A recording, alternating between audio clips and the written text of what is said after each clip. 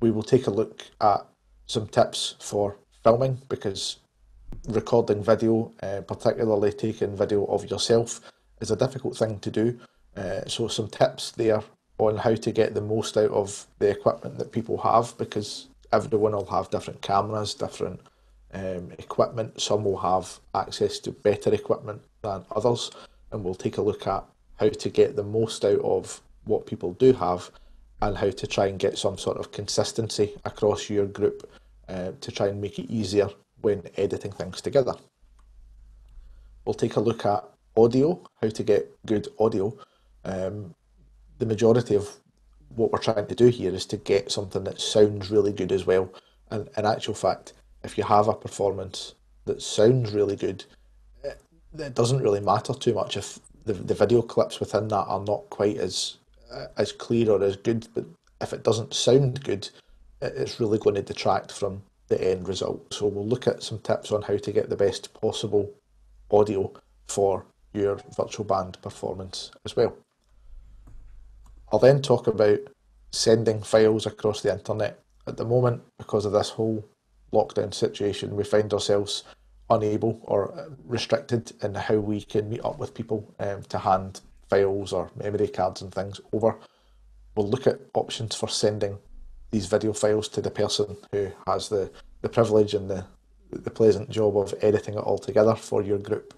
Um, I'm then going to try, hopefully, um, to edit together three clips that have been sent to me by our musical director. Um, so I perform, I'm a percussionist with Irvine and Dreghorn Brass Band, and Lewis Bettles is our musical director. Uh, Lewis has very kindly filmed a, a, trombone trio for us, so I'm going to try from scratch to edit together uh, during this presentation three video clips from that trio just to show you the workflow and what it might look like, and it'll also hopefully show you um, where all of these tips make a difference when it comes to putting the video together. Uh, and if you do these things right, how much easier it can make it to get quickly get to you know your your finished result that sounds pretty good and looks pretty good as well. Hopefully. I'll then take a quick chat about equipment and software. Uh, obviously, you need equipment to do this. You need a computer, you need cameras, you need microphones, you need access to the internet. We need all sorts of different types of software to start and applications to bring all of this together. So we'll have a chat about that as well. Uh, and it does include free options, something that I felt was quite important. Um, not everybody has access to funds or resources to go and buy expensive video editing software. So there are free options here that we can use as well. And then at the end, hopefully, if there are one or two burning questions, if, if John is monitoring the chat, if we do have time, I might try and answer one or two questions in the presentation. But any questions that I don't get to in the course uh, of, of the presentation, I will either do a video or I'll publish something over the coming weeks uh, to address all of the questions at the end. So, planning and communication. It's going to be difficult for your band members to perform on their own, uh, in their own house or somewhere else without the band around them to support them. So keep your music selection simple, especially for the first couple of um, virtual performances that you undertake there's going to be more challenges than just the playing of the music. So select something that is within the ability of every band member that they are comfortable with. It might well be a piece that they have played before. Um, for this, the first couple of for the first couple of videos. Agree on timings. It's very important that your band members or your choir, if, it's a choir that we're looking at here, it's very important that they play accurately to a reference track, which we will touch on later. So agree on your timings so that you can prepare that reference track before people start to film because any changes will require people who have already filmed to go back and start again. So before you start, sit down, select your music, agree on your tempo, agree on timings. If there are pauses, agree on how they will be handled how long will the pauses be and how will that be built into your, your reference track so that people know exactly when to move on, when to pause and so on. speak to your band, brief them on what you expect from them, and make sure that they understand it. Um, it's it's too late, three days before your deadline, when you start to edit those videos together, to realise that someone has interpreted an instruction differently from the rest of the band, and they believe that they're playing as instructed, but actually they're not. They're doing something different. So make sure at the start that everyone is happy with what you're asking them to do, how you expect them to set up their equipment, how you expect them to send the video files. Make sure everyone knows every little detail of what's expected well in advance so that you don't run into problems later on.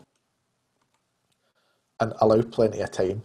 Um, this can be a time consuming process. I would say five, six weeks, um, and two or three weeks of that at the end is going to be the time to bring all the videos together, edit them together. Of course, it depends on the amount of time that the person who's going to do the editing has spare, but please allow plenty of time. Don't don't leave it to the last minute because the person doing the editing is going to fall on them at the end to bring all of this together, and they really can't afford to be rushing through it because that's when mistakes will get made and everyone else's hard work could potentially come unstuck if you don't have enough time at the end to bring it all together properly. A synchronization clap is probably the single most important thing that I would like you to take away from today. Um, it is very, very, very important it is um, easy to line up every single video clip and every audio file, and you'll see that when I'm doing the editing demo later on.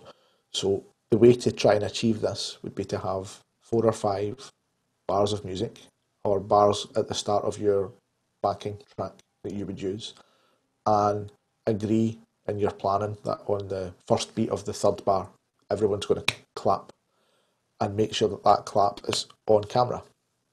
That way the person editing the video can line up the claps, both the audio and the video, when the hands come together.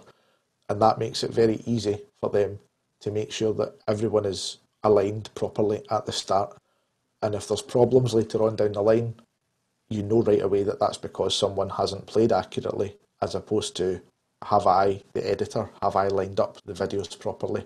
If I go back to the start and I know that all of those claps are in sync, any problems further on down the line are as a result of playing, and I can go back and ask that person, if need be, to film that part again and resubmit it.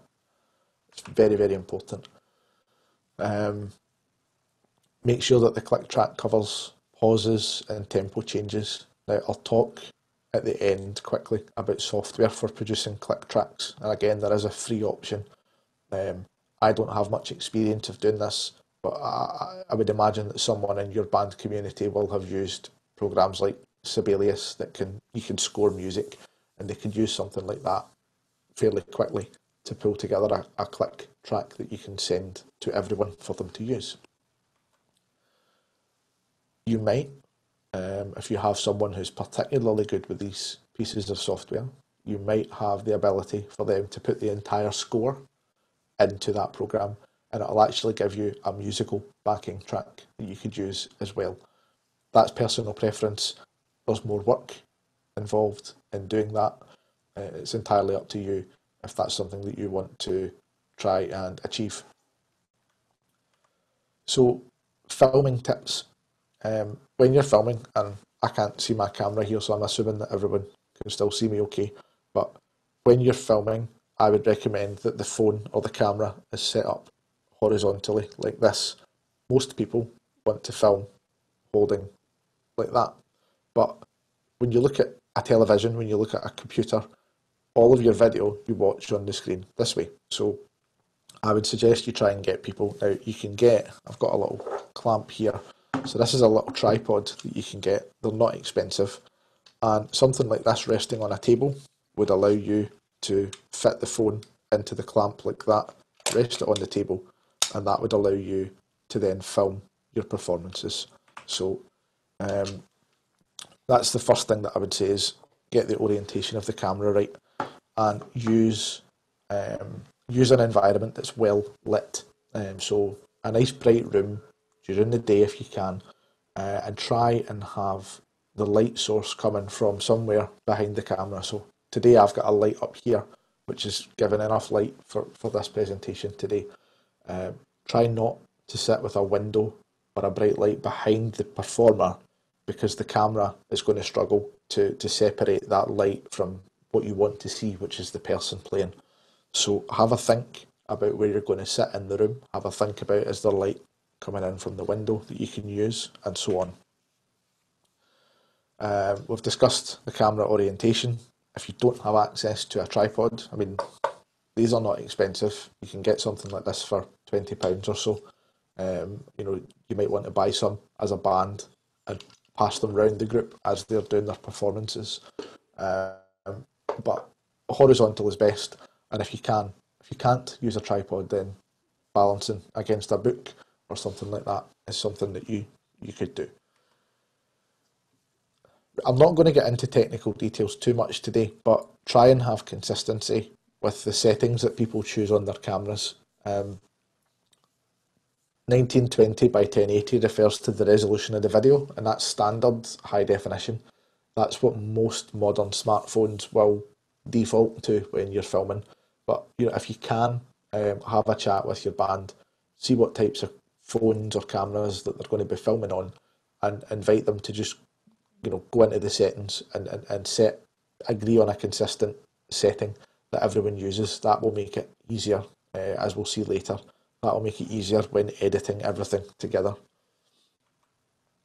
So, moving on to audio.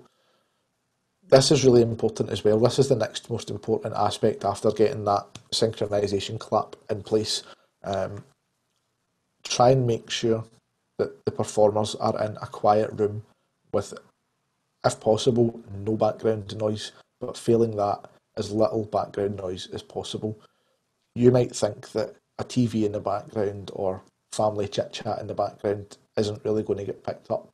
And it, might not be the prominent sound in that clip, but by the time you add 25 different audio recordings and they've all got a little bit of noise, that all adds up and it can really, really take away from the quality of your final performance. And it's very, very difficult to edit out background noise without also causing some damage to the music, which is what we want to capture. Try to um, advise your your players and your performers not to play too loud. Um, the microphone on most mobile phones can't cope with loud noises very well, and if you do play too loud, what happens is you lose the detail and the quality in that sound, and it cannot be recovered. It's lost at the time of recording. So it's preferable to play slightly quieter and for the instruments where the bell points forward, so the, the, the cornets, the flugelhorns, the trombones, particularly the trombones because they're amongst the loudest instruments, try and turn the bell of the instrument off to the side slightly so that the sound goes out into the room and then comes back round to be picked up by that microphone. Um, if you if you distort the noise and, and the, if you distort the sound of that instrument when you're recording, you can't recover it afterwards. It's gone. It's not coming back. So try not to play too loud. Invite your performers to listen to that track after they've recorded it.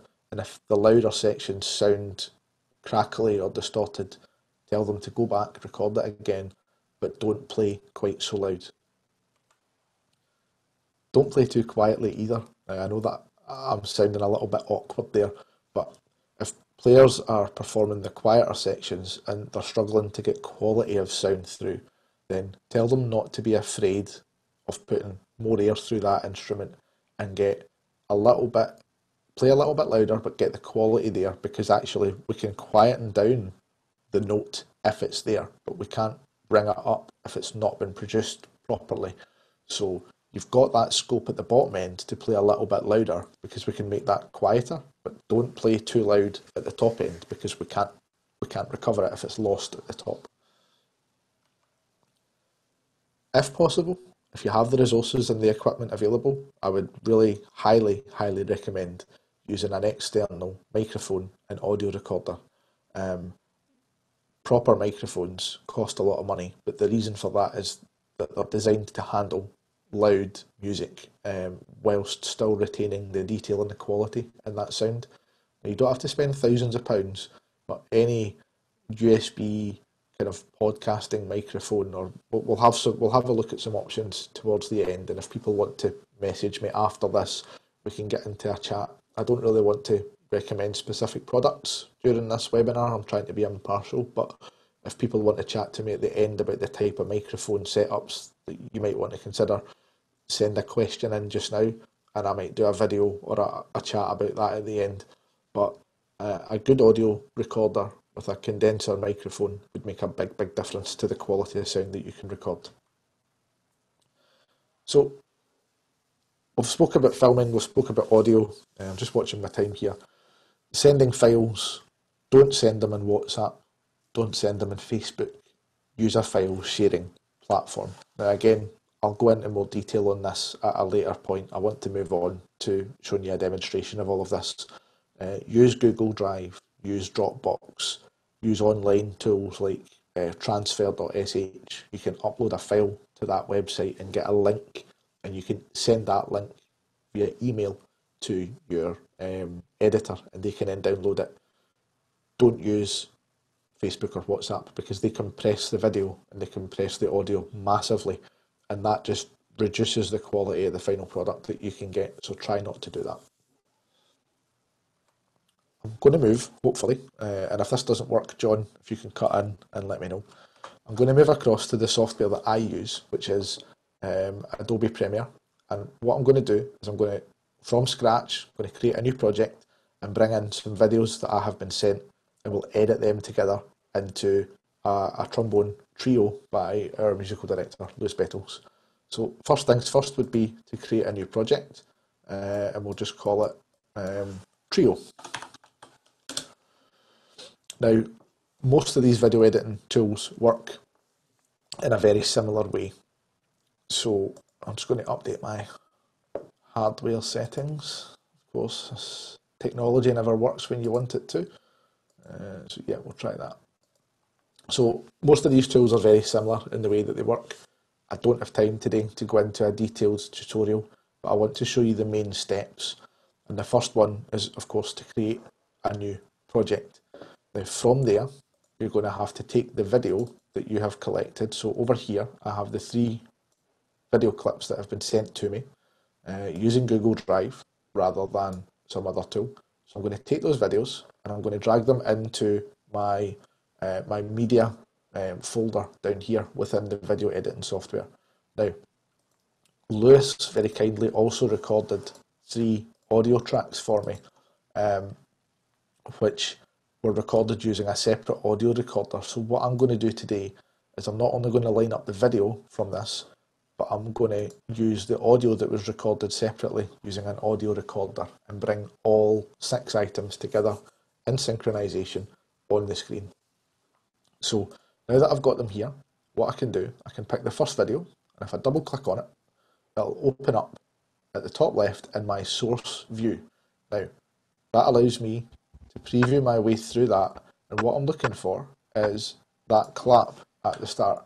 So you can see at the start of that video, um, Lewis brings his hands together about there. So if I go back to where his hands first meet, that's that point that I want to synchronize everyone with. So what I'm going to do is I'm going to mark using the in point here. I'm going to hit mark in and what that means is if I use the in and out points, anything that's highlighted between those points is what will come down onto my timeline when I drag down in a moment. So I want the start point to be where his hands meet, and I want my end point just to be right at the very end of the clip. So I go to the end and put my out point at the very end. Now, this little icon here in Premiere, uh, other tools have similar functions. It allows me to just take the video only and bring it down onto the timeline. So now what I've got is I've got a video clip on my timeline and that video clip starts when his hands come together. So that's the first video.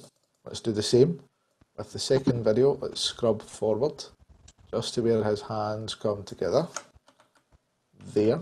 I'm going to mark my in point again and then go right to the very end mark my out point, and then I'm going to drag that down. Now, this goes from left to right. I don't want to put that clip after the first clip. I want to put it directly on top of the first clip on a separate video channel. Now at the moment, when you look over to the right, you can't see two clips, you can only see one clip, right? And that is because we have the clips stacked on top of each other. We'll sort that.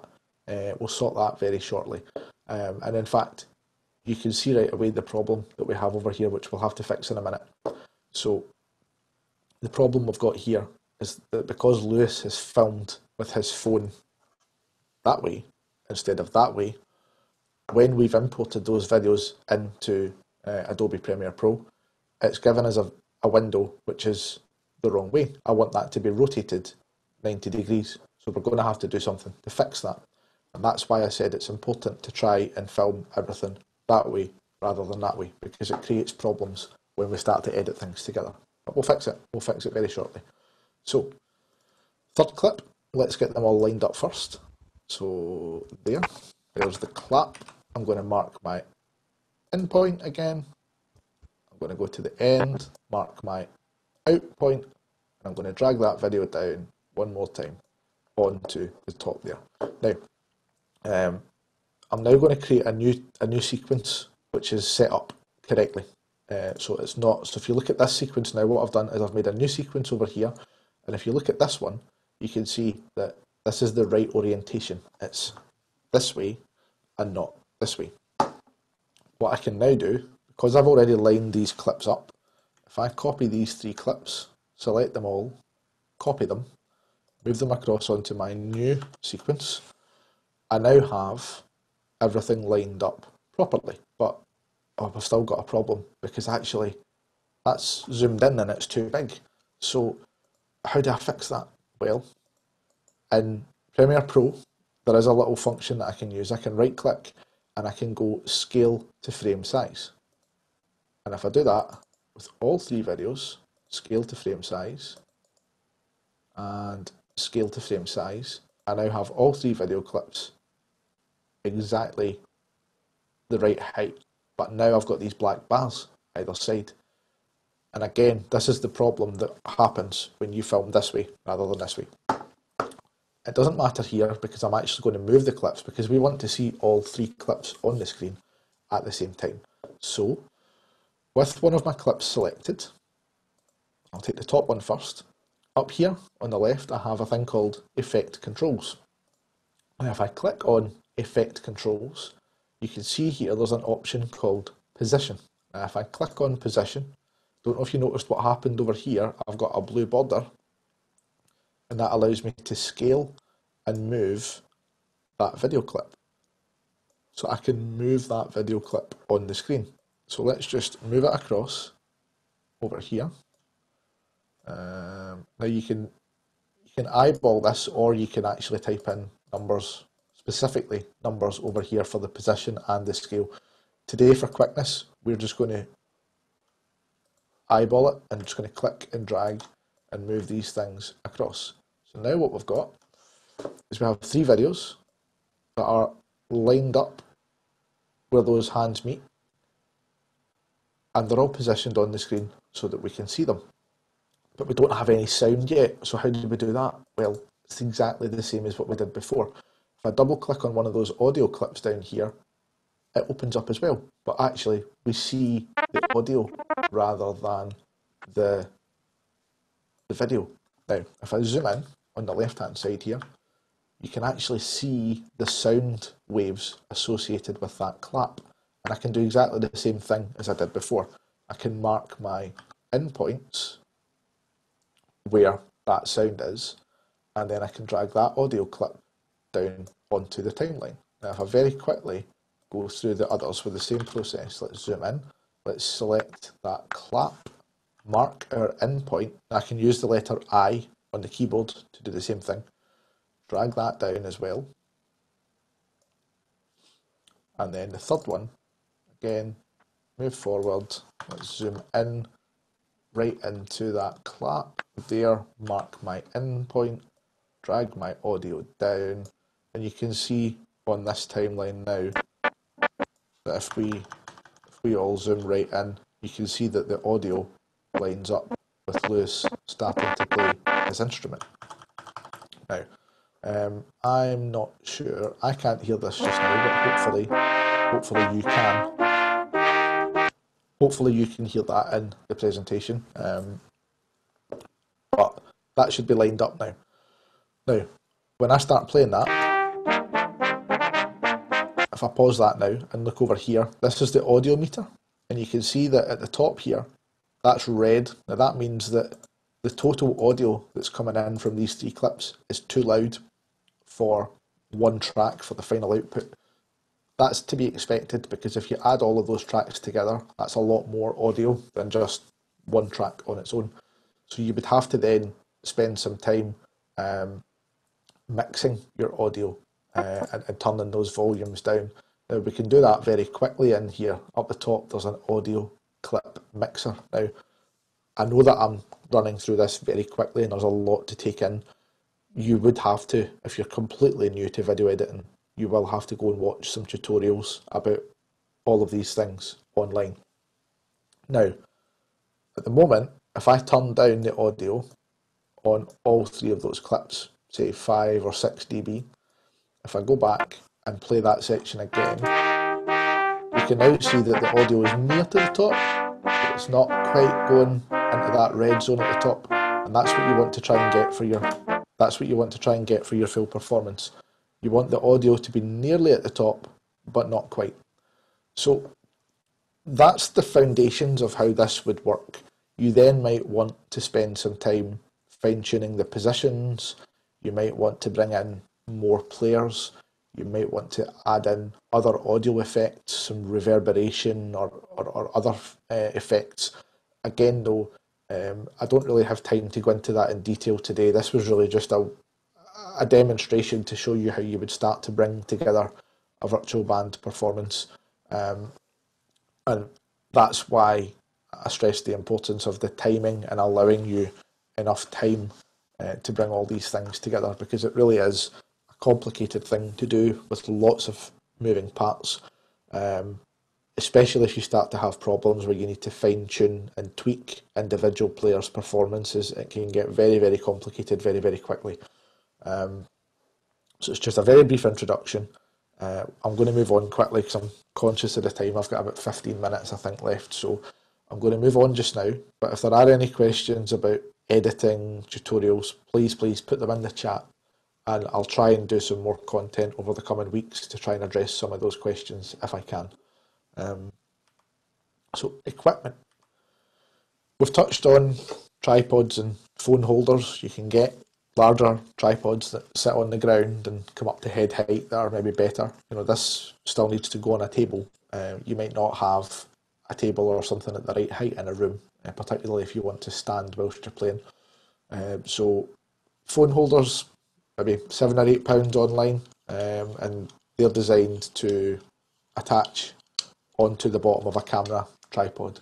Uh, and then these tripods, again, six or seven pounds online for a small one, and anything from 30 to 90 pounds for a, a larger tripod. Some people might have video cameras or um, DSLR cameras, so that's something like this, um, which they might want to use to do their filming that's fine as long as they can get those videos to you and as long as they can set the resolution on that camera uh, to tie in with what we discussed earlier, uh, then that's fine. They can do that. And in fact, you might get better results with something like that than you might get from a mobile phone. Uh, they are expensive, however, not everyone has access to them, and I appreciate that people have to try and work with what they have. Uh, the best camera that you've got is the one, or the best camera is the one that you have with you. So Microphones and audio recorders, we explained earlier the importance of good sound. I would recommend looking online either for a standalone audio recorder uh, with a good microphone. Uh, companies like Tascam and Zoom in particular uh, have audio recorders. I myself use a Zoom H6 audio recorder, which is what the sound for this is running through today, um, and then any reasonably priced cardioid condenser microphone on a microphone stand um, is probably going to be a good start. Again, I'm not going to go into specific product recommendations in this video, but I'm happy to speak to people afterwards if they want to get in touch with me. Um, there's lots and lots of options out there, though it's a massive market that will all work well. There's no one right answer. Um, I would have a have a look online at some tutorials and some reviews and decide what works best for your needs. Um, lights, we haven't really discussed lights.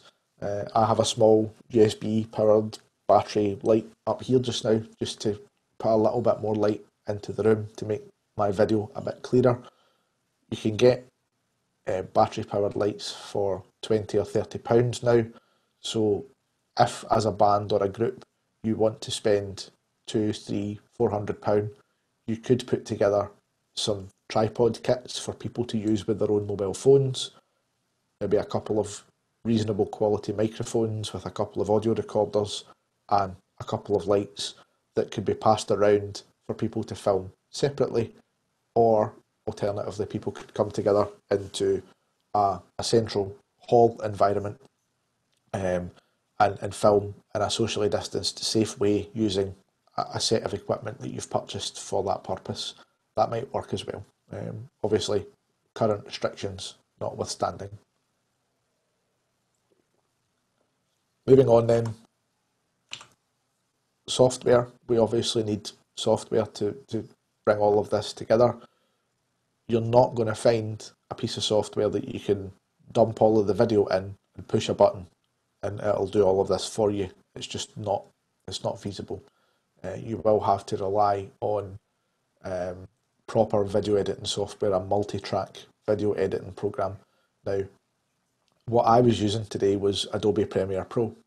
That's a paid program and it, it is quite expensive. It's a monthly or an annual subscription to Adobe's Creative Cloud family of applications. I do use a lot of them, so it's worth the investment for me, but it might not be for everyone.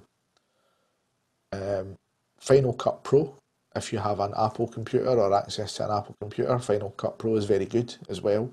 Um, it is paid, but it's a single payment. I think it's about £320, but you pay once and you have access to it indefinitely. Um, DaVinci Resolve is the other one, and this is the one that I would recommend if you're starting out in this. It is a full featured professional video editing program, but it is free uh, in its basic entry level, which has more than enough features to do all of the things that I've demonstrated today and to bring together a, a very professional um, video for a, a virtual band performance. It also, in particular, has very, very good features for editing and mixing audio, which some of the others cannot match even the paid ones. So DaVinci Resolve is what I would recommend you have a look at if you want a free video editing program. To produce click tracks and backing tracks, Sibelius First, I think, is the free option for the Sibelius scoring and MIDI type software. Um, I believe that has enough. I don't have any experience with these programs, but I believe Sibelius has more than enough functionality to produce and edit together a click track for you to use. Again, have a look online, have a look on YouTube. Um, I have no experience with click tracks or Sibelius personally, but if there are questions, send them to me and I'll find answers for you and come back to you. Audio editing. You might want to edit your audio separately and then create one final audio track that you bring back into your video. Um, Adobe Premiere Pro has really good audio editing software, so I don't feel the need to do that at this level. Um, DaVinci Resolve also has very good audio editing software, um, but if you do want to have a look at um, standalone audio editing software, Audacity is a free option.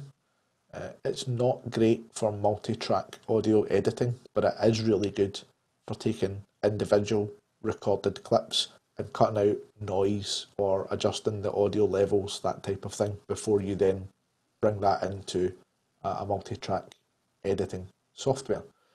Uh, Adobe Audition is good as well, but that's again paid and part of the Adobe Creative Cloud suite. uh, and Pro Tools, I think, is an Apple option. Again, that's paid. I believe that's a single payment option going forward. Um, you don't need to use standalone audio editing software for this type of project. You can do it all within DaVinci Resolve or Adobe Premiere Pro uh, and get results that you will be happy with. Now, that takes me to the end of this presentation. Hopefully, I've gone through um, with you tips for recording, tips for editing things together. Hopefully, that demonstration was of some use. The only other thing that I would point out is that your performers do need to have two devices one with the click track and headphones to listen to as they're performing, and a second device for the filming aspect um, to record the video. They do need to be separate devices. Um, with that, uh, I hope you've had something useful from that. I hope there's been some learning in there for everyone. Uh, if there are any questions, John, that have jumped out at you that you want me to take very quickly, I'll try and do that. Um, if not, I will um, hand back over to you, John, and have a look at the questions after the fact, and I will produce something for you all. So, thank you very much for your time.